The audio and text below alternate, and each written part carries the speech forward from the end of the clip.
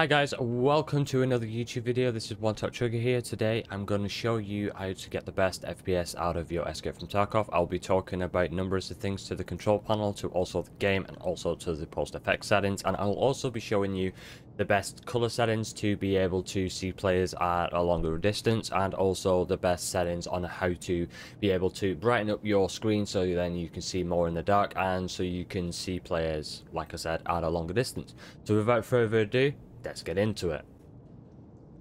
Now, like I said, I'm going to show you how to get the better, best FPS, but it also comes down to your equipment as well. Your graphics card, your CPU, your board, your memory. It can come down to a million things, and it also can come down to Escape from Tarkov.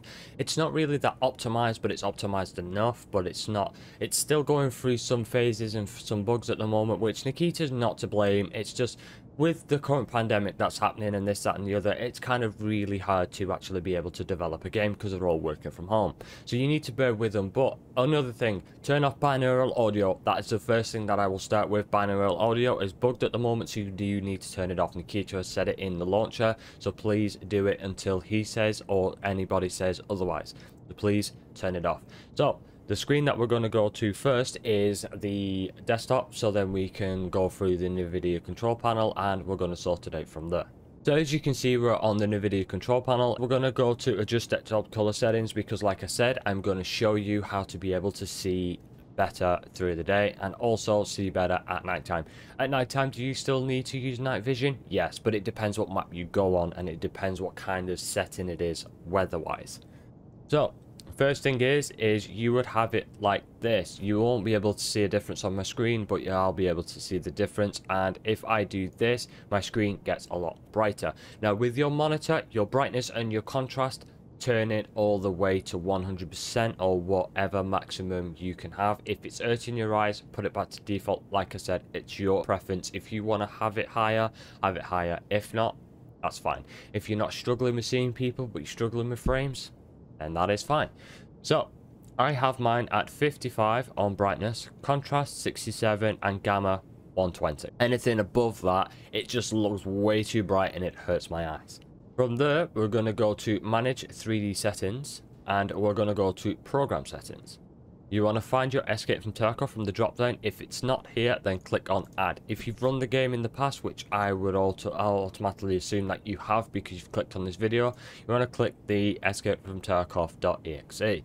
If it isn't there, then you want to go to browse. You want to go to where your game is located. It could be in your C drive or it could be any any other drive, but please if you haven't got it on an SSD and you do have an SSD, please put it on an SSD. It will help your loading times drastically. You want to click the escape from Tarkov.exe. You do not want to click the BattlEye. This is not relevant. Right. Then you want to scroll down. You want to go to power management mode and you want to go to prefer maximum performance. On your texture filtering, uh, anisotropic sample optimization. Now this I don't remember turning it on, but I, I think it's helping. I don't know, but turn it to on. From there, you've got your texture filter quality to high performance. Texture filtering trilinear optimization to on. You want to turn your threaded optimization to auto. You want to turn your virtual sync to off. The reason why I'm saying turn your virtual sync off is because I'm showing you how to also unlock your frames as well in game. After you've done that, click apply. Another thing that I would also recommend that you do is you would open up your EFT and then click on your Escape from Tarkov, right click on it, open properties. From here, you want to go to compatibility. You want to change high DPI settings. You want to click this. You want to then click on high DPI scale override. Override the high DPI scaling behavior, scaling performance by application. Press OK. What that will help is when you're doing your left and right and you're up and down, it will get rid of the blur. Won't get rid of all of it, but it'll get rid of some of it. It's just this blur when, because it's trying to optimize your DPI on your mouse and this, that, and the other, and it's just, yeah. And if you want to know what DPI stands for, it stands for dots per inch. From there, we will open up the game. So first thing you want to do is go onto game. This is irrelevant. This is just your name, this, that, and the other. This is obviously MRS one tap, which is obviously my wife. This is not my wife's account. She doesn't play Escape from Tarkov. I just thought I would call myself, obviously, after my wife. Auto RAM cleaner. It's for anybody that's using 8 gig or less. Please turn it on. It people say it helps, people say it don't help, but I'm just saying turn it on. If you don't want to turn it on, like I said, personal preference. Use only the physical cores. Now, if you have a CPU that has hyperthreading, you do not need to put this on because you need to use your hyperthreading cores. Now, if you have a CPU like me that has only physical cores, then use only physical cores. To me, if I take this off or on, it doesn't really make a difference. People say that you lose frames if you turn it off. So have a little test with this, go into an offline raid, turn it on, then come out that raid, go into your settings, turn it off, restart your game thing, and then do a comparison which is better. If it helps, turn it on. If it doesn't, turn it off. FOV and head bobbing, it's not uh, relevant, but I have mine at 75 and 2. Now let's go into the graphics. Now, this is where you come into the VSync settings. This is where I'm going to show you now how to lock your frames. As you can see, my frames at top is FPS 220, right? So I'm getting over 60 frames, as it's saying. If I turn this off, what that's going to do, it's going to put my frames back to 60 frames. So that's why you choose to have it on. Texture filter and quality, medium. Shadow quality, medium. Object LOD quality 2. Now, if you're having a bit of FPS drops and you can't understand why, turn this to medium, keep this at medium, shadow quality, turn it to low. Overall visibility, 2000. Like I said, if you drop in frames, test it. Do not go 300, go 100, 400, or 1500. But I'm okay with having it at 2. Shadow visibility, put it to 80. Like I said, if you're losing frames, put it all the way down to 40. It's just a distance of where you can see shadows. Anti-aliasing, TAA. If you're struggling with frames, again, put it to FXAA. If you're still struggling with frames, turn it off, but your game is not really going to look that sharp. Resampling, turn it off unless you have a 30 series graphics card, and even then, when you have a 30 series graphics card, I would still recommend you turn it off. HBAO off, SSR off, anisotropic filtering off. Sharpness, I have mine on 7. You can tinker with this and see what works for you, but I have it at 7 and it works absolutely fine. Now, if you've opened the game for the first time ever, you will have some of these options down here selected. Take them all off. They're just not relevant. They're not needed. They don't need to be there. High quality color. This I didn't really see a difference when uh, Nikita's team added it. It this says that it's supposed to increase performance. It might work for you, but it does not work for me. So try this one, see if it works for you. If it does, then grand. If it doesn't, then turn it off. After you've done that, always use always use screen mode full screen Borderless seems to be very choppy. Only a select few of people can handle it being a borderless, but what it feels like when you're playing it, it feels choppy and stuttery. Basically, it feels like you're doing this constantly when you're in the game. So I have mine on full screen and you'll get the best performance out of it. Now the post effects settings, this can drastically change your frames and I'm going to show you that in game in a minute. But I have my brightness at 15, saturation at 35, clarity at 75, colorfulness at 0 because I use 100% on my um, digital vibrance, which I don't know if I covered that, but digital vibrance is your personal preference. Um, adaptive sharpen uh, 75 and then color grading and colorblind mode. I turn them off because I don't need them and then after that click save. Now what we will do is we'll get into a raid. So I'll see you there. Right. Now we're into a raid. Um always come into an offline raid when you're uh, when you're uh, testing your settings.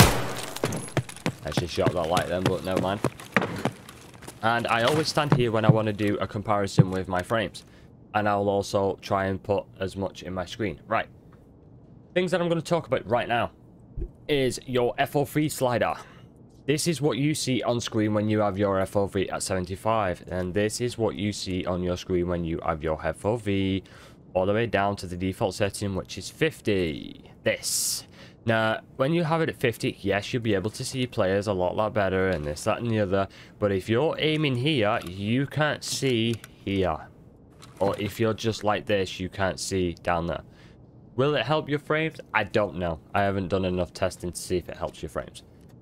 So, that's something to keep in mind when you're choosing to have your FOV the way it is. Right, so, anyway. As you can see, my frames right now, looking at this screen, are between 110 and 115. Now, if I turn my post FX settings off, and I click save, My frames then boost all the way up to 143 and above. That's because PostFX can also drastically change the performance. Another thing that I would also recommend, like I said at the start of the video, is turn binaural sound off until anybody says otherwise or Nikita says otherwise and puts a post on Twitter because currently at the moment this is bugged and it's recommended everybody to turn it off. So as you can see, PostFX will give you drastically a lot more frames. Now, we will go on to the PostFX settings, we're going to visualize right now, and as you can see that it's blurry in the background, this is why I like to have them on, because then you can see it more clearly. So if anybody's peeking over there, I'll be able to see them a lot, lot better. Now, will I continue to use these? Probably not. I don't know yet, but as you can see, the frames are drastically different when you do turn them off and when you turn them on. So that is your choice. If you want to have them on, lose frames, that is your choice. But if you want the best out of your frames, please turn it off because you just don't need them. Like I said, anything that I edit in here will not count because I'm in the raid. So what I'll have to do is end the raid, change the settings, restart the game, and then go into a raid and then test it. And then obviously you've got all of this stuff. Uh, sound settings, that's what I haven't signed, and then obviously controls. Uh, this is what they are. So what we'll do now is we'll talk a little bit more and we'll go into the full screen mode. So I hope this guide was helpful for you, uh, but I would really recommend if you do have the PostFX settings on and you're struggling getting frames on any map, please turn them off because at the end of the day, they can be really good to be able to see people, but they can also be punishing. So basically, you have a pro and a con to it. You have a pro because you can see players a lot easier, but the con is also it will drastically decrease your performance. Will this ever be fixed in the future to where it will not affect your performance? I don't know. I really do not know, but I'll keep you informed if anything like that. I'll probably end up probably putting that question forward will that ever be fixed? It might be fixed in the new unity engine i i don't know i really don't. If i get into the ets i'm hoping that you know that's one of the fixes that'll do but i won't be able to talk about the ets which is uh, a bit of a bummer. But if you did like this video and it was helpful in, in any way shape or form leave a comment down below and let me know of your thoughts. Uh, if you need any more help with anything leave a comment down below or come over to my Twitch and ask me there and I will run through whatever problem that you're going through at this moment in time. So, like I said, if you like this video, please leave it a like, uh, subscribe and also click the bell notification so you'll be up to date with all my videos that I create on uh, YouTube.